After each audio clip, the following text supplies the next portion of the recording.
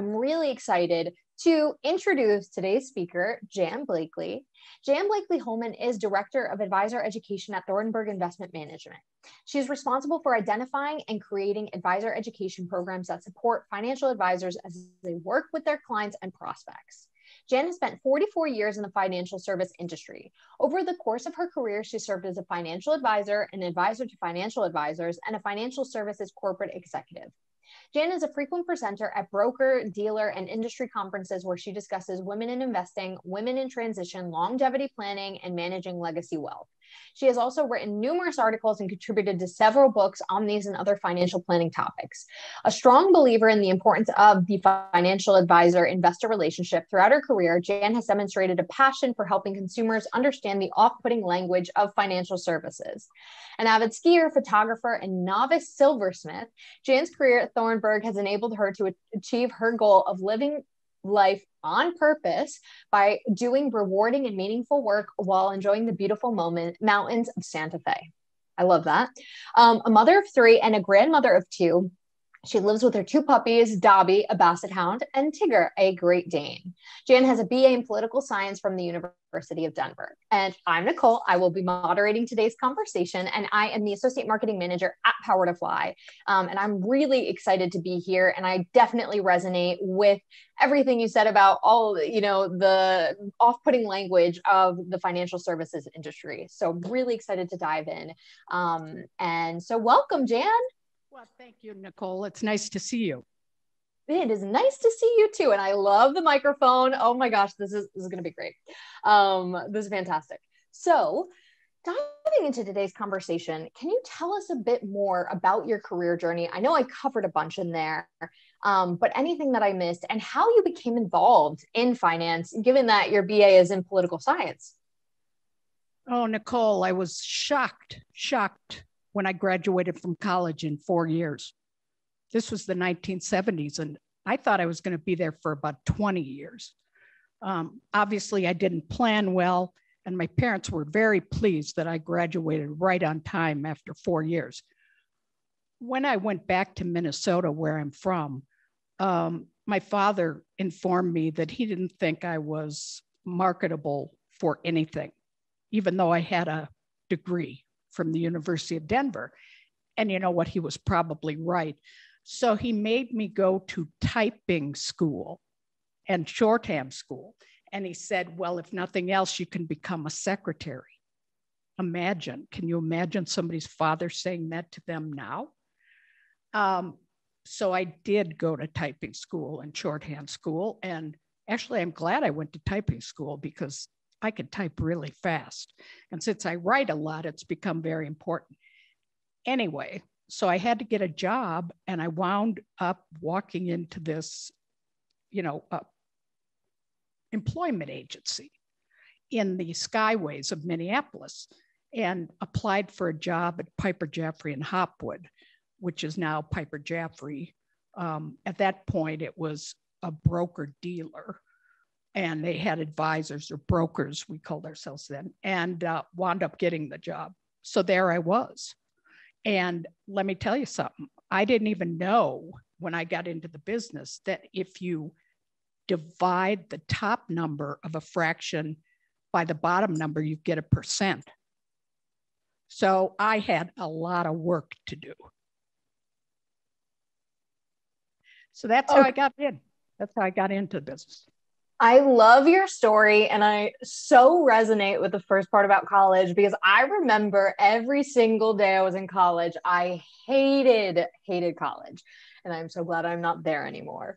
Um, and there's so much that I learned about college along the way, but I uh, uh, thank you so much for sharing that. Um, and uh, wow, okay, so you've learned a lot, you've grown a lot and now you're the director of advisor education at Thornburg Investment Management. So, can you tell us a little bit more about your role? And I mean, like, can you talk about some of the growth that you've had personally moving up? Oh, sure.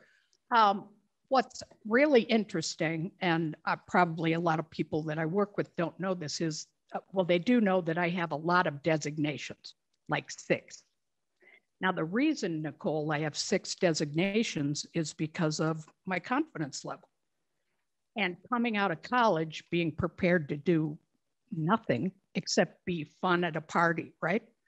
Um, I needed to believe that I had knowledge. So that's one of the things that I have focused on during my career. Um, as director of advisor education at Thornburg, what I do is create programs and um, and presentations for financial advisors. And they're typically focusing on how advisors can obtain, acquire, and retain, retain clients and assets because this is an exceptionally competitive business now. It wasn't as competitive when I started. In fact, I was the only woman in a uh, a bullpen at PaineWebber in Minneapolis with 77 guys. So I've been in the business when there were no women.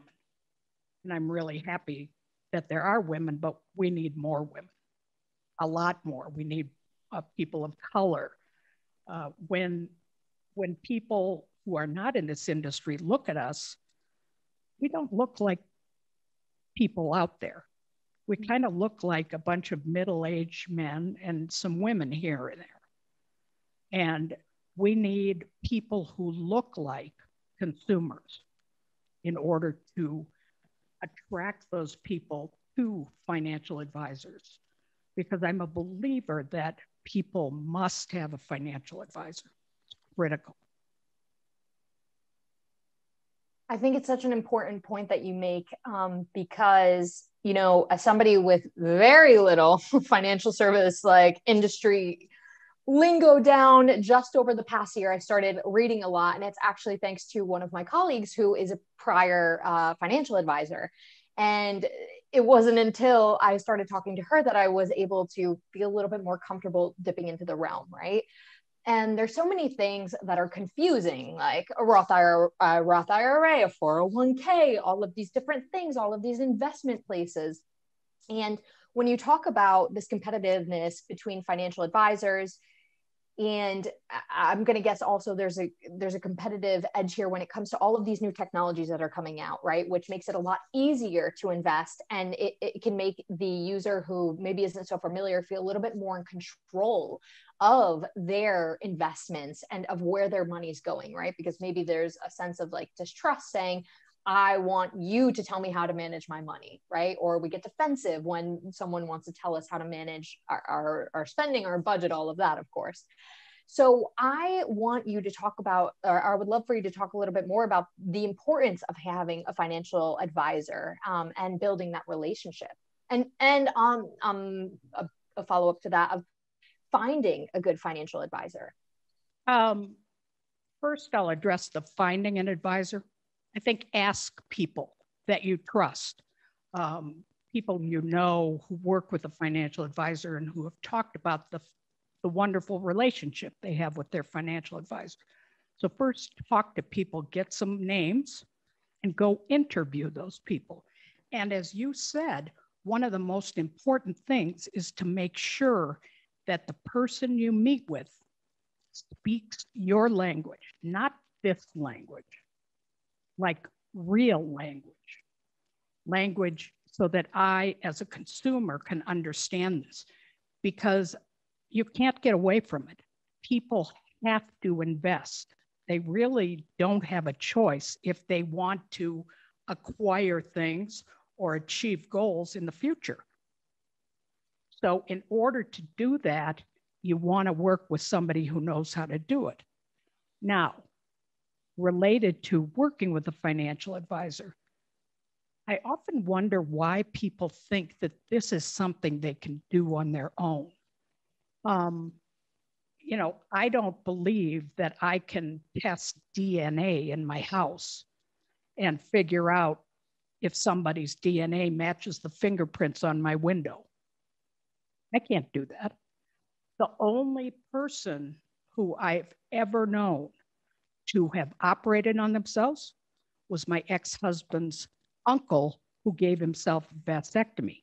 Now, that said, That's kind of scary, isn't it? He was a heart surgeon. But what if he sneezed or something? This is dangerous stuff. You don't want to be doing that, right? So you want somebody who does this for a living, not somebody who's goofing around with it. The other thing is the breadth of knowledge. It's not just investing, it's also insurance. Do I need excess disability insurance? Do I need long term care insurance? Do I need pet insurance? Do you know what I mean? Making decisions like that are part of financial planning. And those are not the sexy parts of money. The fun and sexy part is making money on a stock that goes up, right? Well, you got to do the other stuff too, because that area, the area where we have risks, can come back and bite us if we haven't made conscious decisions about whether or not we should insure against risks. Because if you don't insure against risks and you have to pay out on a loss, you're going to often have to dip into the money that you've invested. So you're just negating any progress you've made. So true. And I think when, uh, you know, you're a young professional who's just starting to make money, you know, if you went to college, like moving out of those broke college days, if that was the situation you were in, um, you know, it, it can feel really empowering to have money. And in a lot of times we're thinking about the now and not planning for the long term, right? And I am always somebody who says, like, you never think the worst is going to happen to you until it actually happens to you, which is why you need to plan for the worst to happen to you in the case that it does. Because right. no one ever wakes up thinking, I'm going to get hit by a bus until you know you know somebody or you see a case in the news that it happens and you're like oh wow it actually could happen to me right? Right. Um, and and so i would i'd love for you to just touch a little bit about you know the importance of longevity planning. As i read in your bio that you're a really big advocate for that and i think especially for women and those who identify as women um, this is something that we don't tend to talk about enough. So i'd love for you to touch on that briefly well a lot of the work that i do a lot of the presentations i create and what i write um, have been ideas that came to me because I'm living it. My mother is 96 years old. That's longevity. Her sister died last summer at age 97. And when I started in the industry, when we did insurance illustrations, life insurance illustrations, we'd often run them out or make the assumption that the person would live till like 85. Now we have to make the assumption that the person unless there's some health issue, that they're going to live to 100, maybe longer. Well, if you have to make money last for years and years after you retire, if you work outside the home, then you better focus on what do I need to do in order to have a portfolio that actually is focused on appreciating over the long term while potentially throwing off some income currently if I have to use that income to supplement any retirement income I have. So the longevity, it's not about retirement anymore. Retirement is just a phase. Okay. How many phases do we have in our lives? It's, it's an event. I retired. Okay, now I got 30 or 40 years left where I have to figure out what I'm going to do and how I'm going to pay for that. That's important, really important. Yeah, it's it's so interesting because you know I live in in Argentina, and after you retire, after you've completed a certain amount of time, they guarantee you like a really big percentage of your salary, right? So it could I think it's up to eighty two percent that they guarantee you for the rest of your life where you know we don't have those systems in the us um, and and it's so important to think about that and be cognizant of it because I, I think it's so easy going back to that but like thinking in the now and thinking oh well it's fine and then when you get to that time you're like okay i really should have invested more and it's a lot harder to go back and you know take from the little that you have left um, so thank you for touching on that You're totally um, right. I mean, we don't have, and I'll call it not pejoratively, but we don't have that safety net. Yes, we have Social Security, but as you know, our political system is, you know, divided, and some folks are really anti anti the government paying anything, and other people believe that the government needs to step up. So I don't see a time where we'll be able to get 82% of what our wages were when we were working. Um, I think that would help a lot because people are not prepared in terms of what they put away for for their longevity for the rest of their life. And when you think about it, Nicole, in some cases, people will be retired longer than they worked.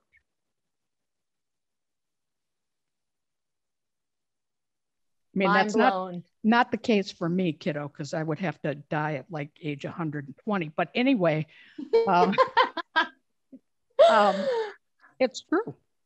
It's true and and baby boomers now. And in fact i i assume you're a millennial right? Yes thank you. Yes. You're lucky. I'm not. Uh, baby boomers now are healthier and mm. don't want to necessarily wind it down. Um, i'm like the oldest woman at my firm. And mm. it doesn't that's fine with me. But when i got into the business i remember my sales trainer telling me not to meet a potential client in person because he or she would think I was selling Girl Scout cookies. So, in terms of age issues, I've kind of lived both sides of it. Um, but I don't foresee myself winding down unless somebody winds me down. You're really sprucing up my my evening here. Thank you so much for this conversation, and I I love your honesty and your transparency here. I think it, it, it's so needed, um, especially when talking about such like a heavy topic, right? Like talking about these things and trying to look at our budgets and and all of this. And I want to talk about you living an on purpose life, right? Doing rewarding and meaningful work and getting to do all the other things that you really love to do. I mean, the part about you being a silversmith, that's incredible. Um, but you know, can you talk about that? How has how have you been able to live an on on purpose life at work, working at Thornburg, and what does that mean for you to live an on purpose life? Well, you know, typically when someone gets to about age 50, and it doesn't have to be right on the 50 year mark, but somewhere around there, they step back and they say, What's my life about? What am I doing? Why am I doing it? What have I made of myself? Well, you know what happened last year, Nicole, is that that age 50 thing went out the window because being locked down and all that type of thing, more people than ever were stepping back and saying, who I don't think I like being an accountant or being a teacher or whatever their profession. Um, and they want to do what they want to do. And on purpose has to do with why I live my life. I would contend that one of the reasons why my mother and her sister have had such long lives is because they've had a purpose. Now, you know, their purpose may be grandchildren, great grandchildren, it may be friends, that type of thing. Um, my purpose happens to be nature and the mountains and my dogs and my family. So I live in Santa Fe where Thornburg is headquartered and I'm in the mountains essentially. I, when I can, in a normal year, not a pandemic year, I like to ski once a week at least um, I go hiking. Uh, there's something about the mountains that really rejuvenates me. And I think people have that about the ocean. I've never heard anybody say that they have that about the wheat fields. Okay, that's not that's not a thing. But um, so I'm here. I'm in the mountains.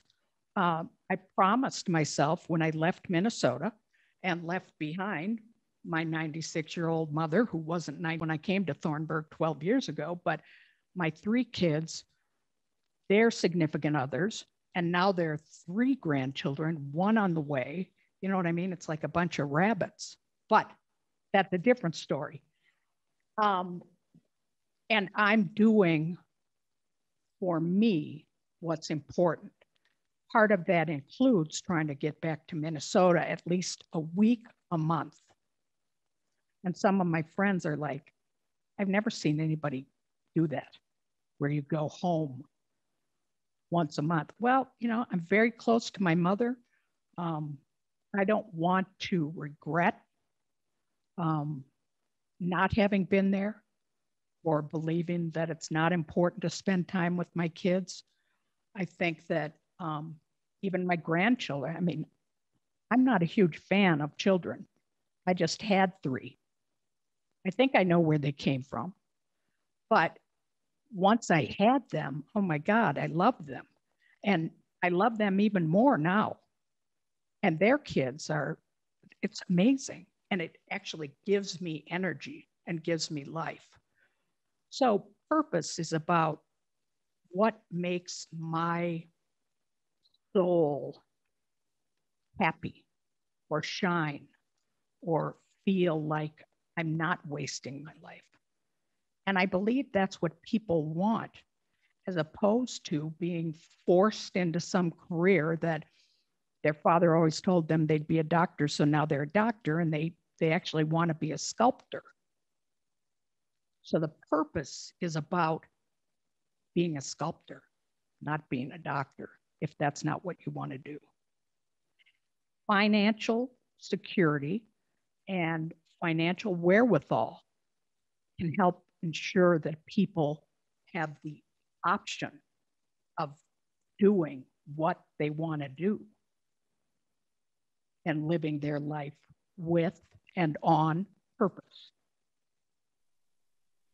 You make so many incredible points. Um, as somebody who lives very far from my family, as I live in Buenos Aires, Argentina, you know, I wish I could get home once a once a month because I I think I think being far away also makes you appreciate that even more, right? Because it's it, it's a lot easier to not uh, lose sight of the value of that, but definitely being abroad has brought me closer to my family and has, you know, made me want to spend more time with them and, and talk to them on the phone more, you know, what have you. Um, and, and so thank you for bringing that up but also you know there, i think there's a freedom that's really come from this pandemic with so many jobs moving from in office to remote.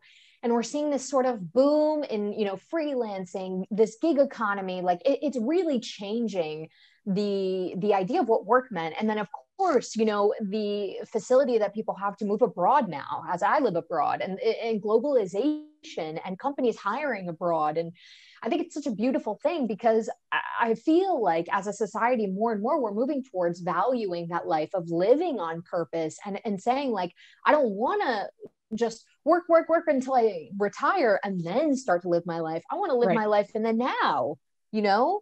And and so we had a follow-up question that came in about this idea that said, How do you live an on purpose life for today, but financially plan for the future? And I'm going to add on to that if you are planning to move away from your full time job into the sort of freelance gig economy, um, h- how should you financially plan? Well, again, that's where an advisor comes in.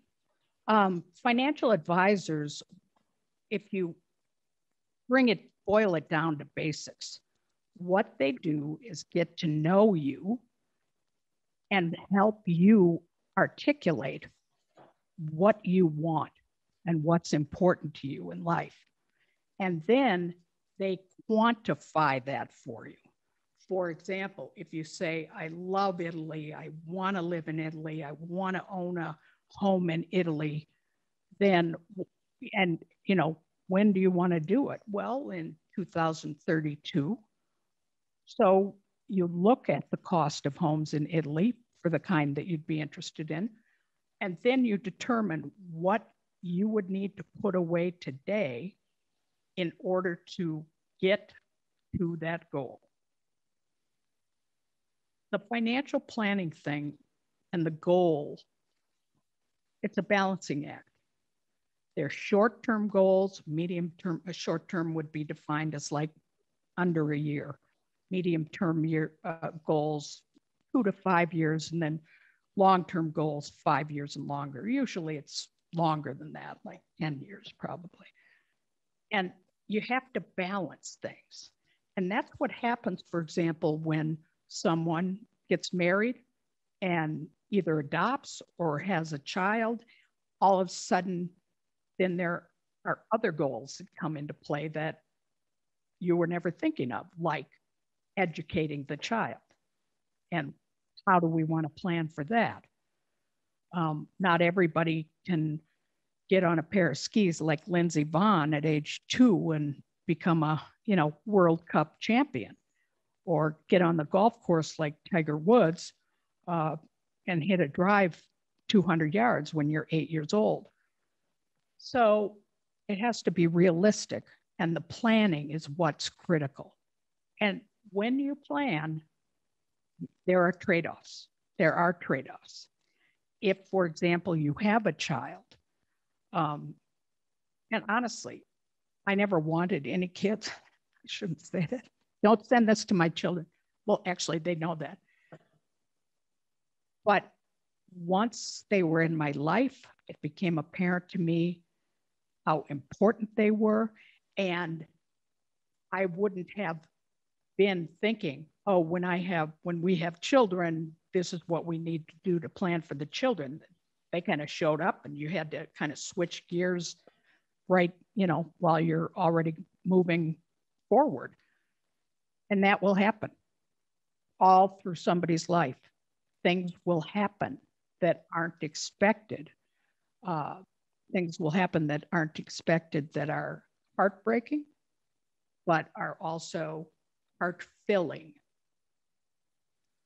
so um, you just have to know that you can't totally map it out from day one. Mm. Things will come in and throw your planning off a little bit, and you have to readjust and continue moving forward. Exactly, exactly. Um, Jan, this has been such an incredible conversation. I can't wait to follow up with you. Um, so, can you tell us where we can follow you, where we can follow up with you in this last minute that we have and support you? Um, I have many things that I've written on Thornburg. So, it's on thorn, thornburg.com.